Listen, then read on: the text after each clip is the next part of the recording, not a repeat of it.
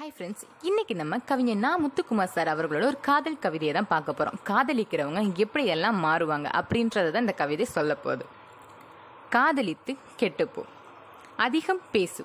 ஆதி apple தேடு. மூளை கலச்சிவை முட்டாளாய் பிறப்பெடு.